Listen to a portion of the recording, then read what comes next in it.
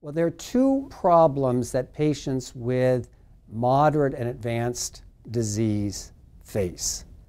And those are dyskinesias, which are abnormal involuntary jerking movements, and hallucinations, where people see things that are not actually there. Both of these are highly problematic because they are highly related to the chronic treatment with the medications that we already have. So that if we could stop these side effects, we could actually use our current medications with much greater safety and much greater efficacy. Ideally, I would like to have established what is the first chemical reaction that takes a normal dopamine cell and starts it on to a cascade of abnormality towards death. And if we have that first chemical reaction, it will be a straightforward chemical engineering project to stop that first process.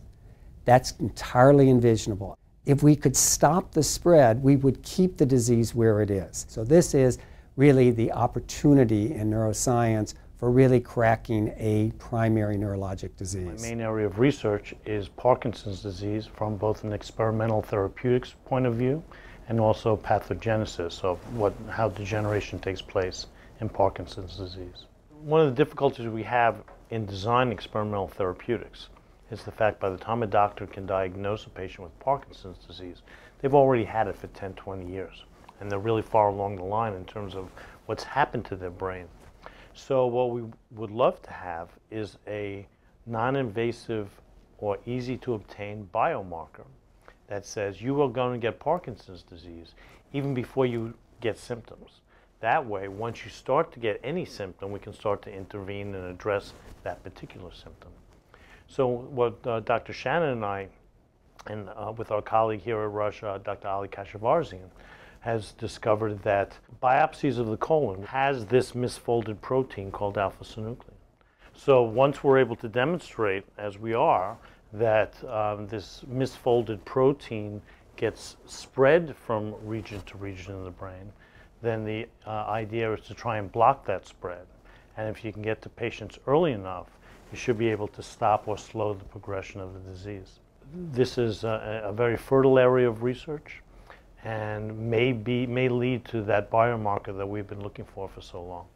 One of the main areas that I am really excited about in our work is looking at why patients with Parkinson's develop cognitive symptoms. So we have brain scans that can look at how the brain anatomy and structure, what it looks like, how the brain functions, what areas are active, what areas are not as active in Parkinson's or in people who have cognitive impairment.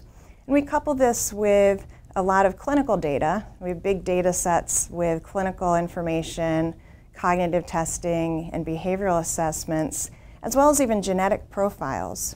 And what we're doing is we're building models that combine all of these advanced cutting edge techniques as instruments so that we can look at um, not only on a group of patients, but on a personalized and individualized level what someone's profile is and use that profile to be able to determine are they at risk for developing cognitive decline.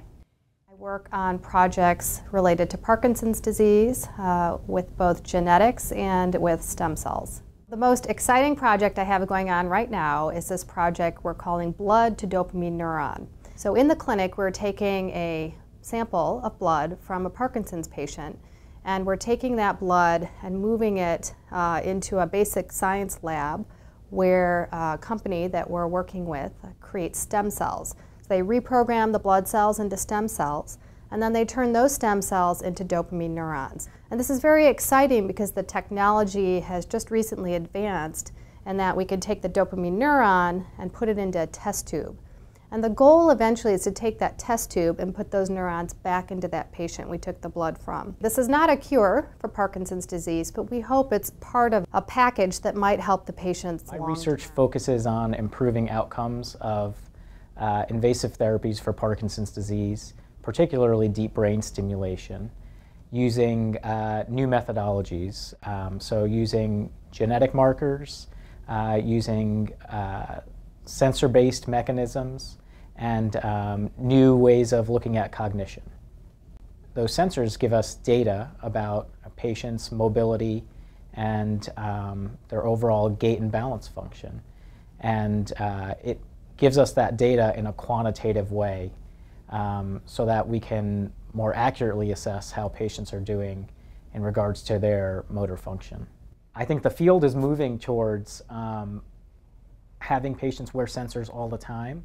I hope that um, using these sensors, we can um, accurately understand and predict who will do uh, the best with deep brain stimulation and who will not.